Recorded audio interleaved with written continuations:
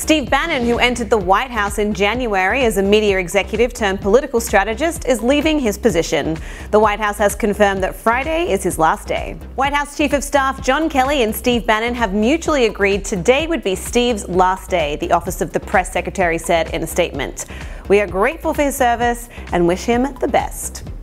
The New York Times reported Friday afternoon that Bannon was on his way out, though the president had not yet decided when and how to do it.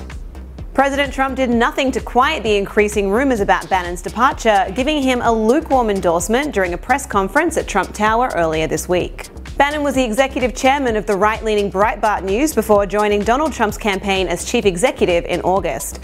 In the White House, he has served as chief strategist, though his role has been diminished in recent weeks and months. People expect Bannon to rejoin Breitbart News, though nothing has been made official yet.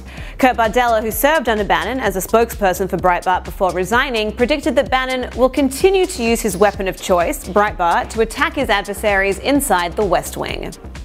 To read more on this story, head to thr.com and tell us what you think about Bannon's departure in the comment section. And of course, you guys don't forget, subscribe right here to THR News so you never miss an important story.